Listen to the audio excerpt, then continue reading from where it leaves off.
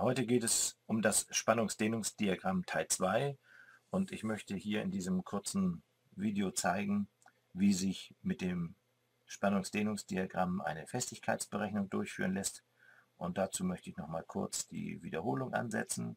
Hier war die Spannung, die wir auftragen. Hier tragen wir das Epsilon auf.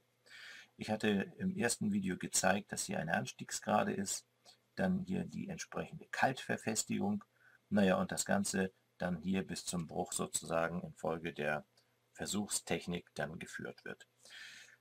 Die erste Frage, die ich ergänzen oder beantworten möchte, ist, aus welchem Grunde habe ich hier vorne eine Anstiegsgrade gezeichnet und hier eine gerade senkrecht nach unten fallende Linie.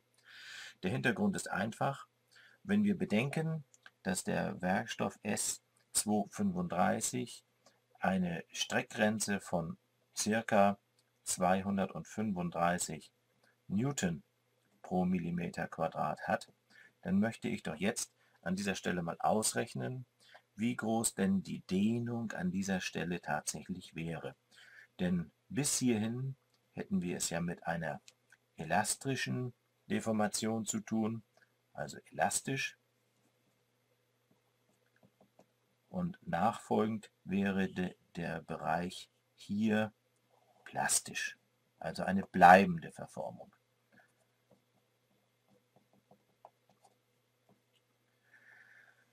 Der Elastizitätsmodul war nichts anderes als Sigma durch Epsilon und um praktisch den Grenzübergang hier zu finden, brauchen wir ja nichts anderes tun, als das Epsilon als gesuchte Größe auf eine Seite umstellen und wir bekommen Sigma durch E. Wir setzen hier die Streckgrenze ein, also 235 Newton pro Millimeter Quadrat und dividieren diesen Zahlenwert durch 210.000 Newton pro Millimeter Quadrat, dann werden wir einen Zahlenwert bekommen, der 0,0 0, 1, 1, 2 aufgerundet sein würde. Dieses Epsilon entspricht tatsächlich 2 Kommastellen nach rechts verschoben 0,112 Prozent. Während wir hier das letzte Mal 26 Prozent Bruchdehnung angetragen haben, müsste jetzt hier tatsächlich ungefähr 0,1% stehen. Und um den Sachverhalt dieses Anstiegswinkels deutlich zu machen, ist der vordere Teil des Diagramms verzerrt dargestellt, nämlich hin zu größeren Dehnungen. Ansonsten müsste nämlich hier tatsächlich senkrecht die Linie nach oben laufen. Und durch diesen kleinen Trick der Verzerrung zeichnen wir also das Anstiegsdiagramm vorne eben schräge und diese 0,1 federt das Material ja auch hier hinten wieder zurück. Das ist aber zeichnungstechnisch nicht mehr auflösbar. Damit haben wir die erste Diskrepanz behoben. Der zweite Punkt wäre, wie verhält sich denn die wirkliche Festigkeit des Materials? Denn tatsächlich wissen wir aus Erfahrung, dass das Material, wenn es deformiert wird, zum Beispiel beim Schmieden, nicht weicher, sondern eigentlich immer nur härter wird. Nun, dem Ganzen kann man gedanklich nachkommen, indem wir uns also vorstellen, dass die Probe zunächst in ihrem belasteten Bereich überall die gleiche Durchmesserstruktur hat. Und bei Belastung, und ich male mir jetzt hier einfach nur so ein kleines Teilstück heraus, würde ja letztlich Massenkonstanz und Volumenkonstanz sozusagen vorherrschen soll heißen, das Bauteil würde länger, dafür aber natürlich auch entsprechend kleiner im Durchmesser. Das findet in diesem Bereich statt.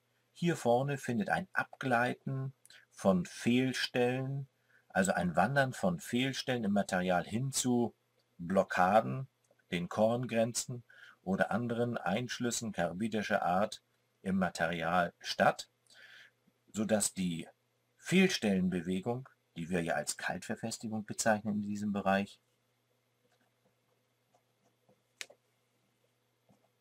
abgeschlossen ist.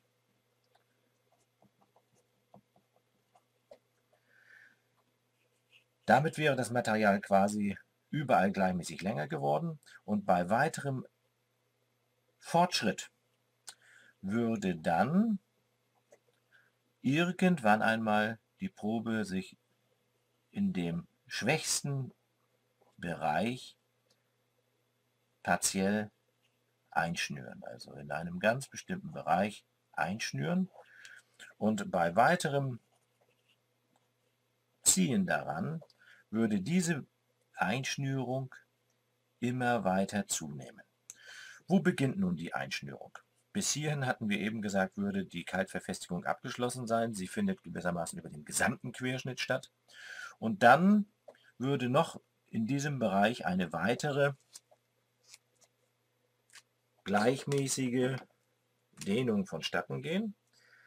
Und irgendwann, man weiß es nicht so ganz genau, würde gewissermaßen hier die Einschnürung zunehmen und würde man am Ende den letztlichen Bruchquerschnitt nehmen und die darin befindliche Kraft sozusagen äh, dann entsprechend umrechnen, dann ist natürlich die Spannung niemals kleiner geworden, sondern stetig gewachsen bis zum Bruch nämlich. Und dann wäre die tatsächliche, die wahre Sigma-Bruchspannung diese hier und nicht, wie wir das letztlich im Diagramm in dem Teil 1 geschrieben hatten, hier.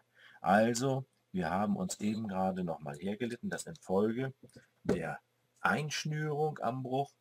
Die wahre Spannung im Material größer wird und aus diesem Grunde heißt das auch wahre Spannungsdehnungslinie. Bei einem Werkstoff Glas beispielsweise wird selbstverständlich diese Einschnürung null sein und damit natürlich dieser Sachverhalt so auch gar nicht gegeben sein, sondern wir werden auch dann bei solchen harten Werkstoffen sehen, die Spannung wächst und irgendwann wird das Material schlagartig abbrechen, ohne dass die Spannung letztlich im weiteren Verlauf abfällt. Ja, soweit so gut.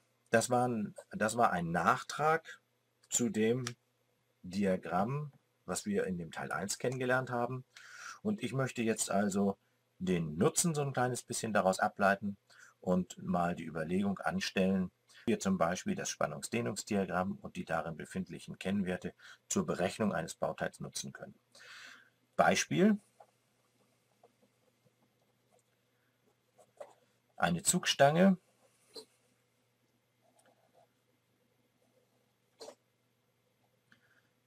deren Durchmesser wir nicht kennen, sei 10 Meter lang.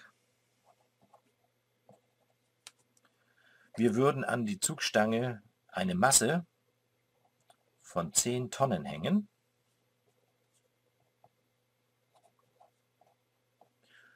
Und wir würden fragen, um wie viel Millimeter würde sich diese Zugstange verlängern.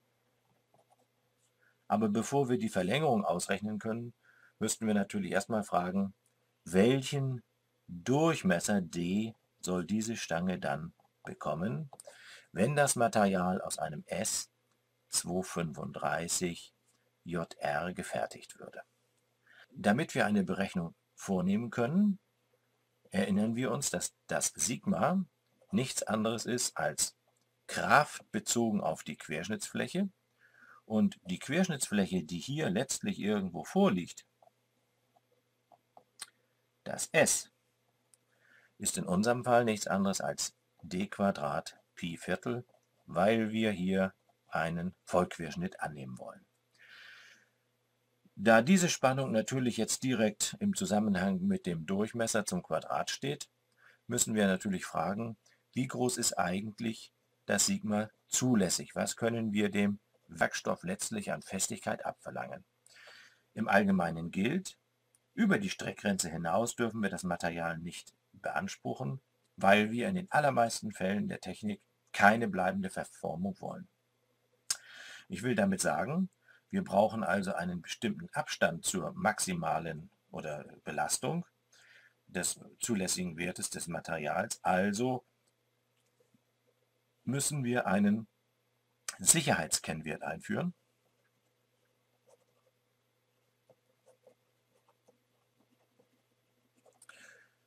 den wir μ nennen wollen. und zum Beispiel der Faktor 2 sein soll. Dieser Sicherheitskennwert zweifach heißt, dass wir die Streckgrenze nur zur Hälfte ausnutzen wollen. Wir würden also aus dieser Forderung, die jetzt aus technischen Überlegungen heraus resultiert, dazu nutzen, ein Sigma zulässig zu benennen, das ungefähr 235 Newton pro Millimeter Quadrat geteilt durch 2 groß sein soll. 117,5. Da bei einer solchen Dimensionierung noch gar nicht mit solchen exakten Zahlen zu rechnen ist und die, und die Sicherheit letztlich so zu wählen ist, wie das Material hier auch belastet werden soll, muss man natürlich erwähnen, dass die Art der Beanspruchung dabei noch eine Rolle spielt. Das soll heißen, wird die Masse hier nur ein einziges Mal angehängt oder gehen wir davon aus, dass es sich um eine wechselnde oder eine schwellende Belastung handelt. Das sei jetzt mal zunächst dahingestellt, aber in allen Fällen würde dann durch eine zunehmende Verschärfung der Beanspruchung dieser Zahl wird weiter zunehmen. Also würde ich also für mich erstmal einen Sigma zulässig Wert definieren, der in etwa 120 Newton pro Millimeter Quadrat groß ist, um eine Vordimensionierung für diesen statischen Fall vorzunehmen. Wir brauchen also nichts anderes tun, als hier die entsprechenden Querschnittswerte zu substituieren und letztlich würden wir dann aus, der, aus diesen oben, obigen Formeln hier Sigma zulässig ist nichts anderes als die Kraft, die in dem Material herrscht, geteilt durch d Quadrat Pi und mit dem Kehrwert nach oben gerechnet Viertel dann entsprechend rechnen wollen. Daraus folgt nach kurzer Umstellung, dass der Durchmesser nicht zum Quadrat, sondern hier, weil Produkt auf der rechten Seite vorliegt, gleich die Wurzel gezogen, f mal 4 geteilt durch Sigma zulässig mal Pi sein würde. Wir setzen also das d ein oder für das d die entsprechenden Zahlen ein und bekommen dann da heraus, dass die Gewichtskraft Fg letztlich nichts anderes ist als Fg ist ungefähr m mal g oder besser gesagt genau genommen, aber das jetzt praktisch mit 9,81 gerechnet, würden wir für die Gewichtskraft dabei herauskommen 10.000 Kilogramm mal 9,81 Meter pro Sekunde Quadrat wären ungefähr 100.000 Newton. Das wäre sozusagen die Last, die in dem Material vorliegt und wir bekämen dann heraus 100.000 Newton, also ein bisschen aufgerundet, mal 4 geteilt durch 120 Newton pro Millimeter Quadrat geht der entsprechende Querschnitt nach oben, mal Pi und das ist dann die entsprechende Berechnungsformel. Wir kürzen die Newton, wir können die Millimeter Quadrat aus der Wurzel ziehen und dahinter schreiben und unser Zahlenwert, den wir dann bekommen, wäre 32,57, um auf zwei Stellen genau zu rechnen. Und das wäre natürlich schon ein verhältnismäßig großer Querschnitt, der aber letztlich den entsprechenden Forderungen genügen würde. Tatsächlich würden wir also hergehen und sagen, der Durchmesser, der hier zu wählen wäre, sei zum Beispiel Durchmesser 32 der dann entsprechend auch lieferbar und ohne eine notwendige Nacharbeit dann bestellt werden könnte. Die 6 Zehntel Millimeter werden in der Spannung keine wesentliche Veränderung verursachen, die hier letztlich vorliegt. Genau genommen, wenn das wirklich tatsächlich der Grenzwert wäre, wäre der nächstgrößere Querschnitt zu wählen, damit die Forderungen hier, die wir nicht ganz exakt jetzt einhalten, dann tatsächlich vorliegen. Ja, die Frage war nicht nur welchen Querschnitt, sondern die Frage ist im Fall B, wie viel Millimeter verlängert sich das Material. Wir sehen also für das Beispiel A die Ausdimensionierung, für den Fall B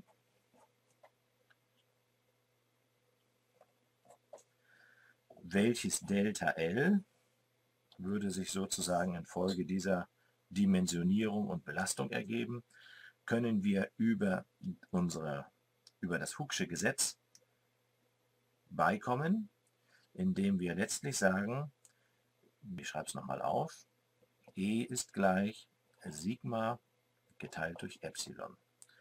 Den Wert für E, den kennen wir, der beträgt für Stahl rund 210.000 Newton pro Millimeter Quadrat. Die Spannung sind unsere rund 120 Newton pro Millimeter Quadrat, die wir eben gerade als Dimensionierungsvorgabe gewählt haben. Das Epsilon ist mir unbekannt, aber ich weiß natürlich, dass das Epsilon nichts anderes ist als Delta L zu L0 und darin steckt letztlich auch die gesuchte Größe L0. Das heißt also, das E kenne ich, das Sigma kenne ich und das Epsilon werde ich jetzt also in dieser Formel nochmal substituieren, also austauschen, sodass letztlich dann daraus der Sachverhalt E ist gleich Sigma geteilt durch Delta L mal L0 erwächst. Delta L ist gesucht und wäre dann nichts anderes als Sigma mal L0 geteilt durch E.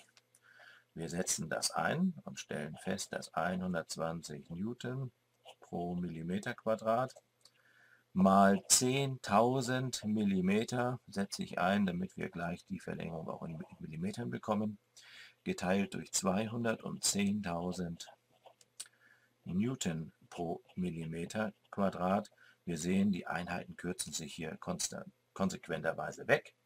Übrig bleibt Millimeter und wir bekommen dann hierfür eine Verlängerung von Delta L ist gleich 0,7 Millimeter.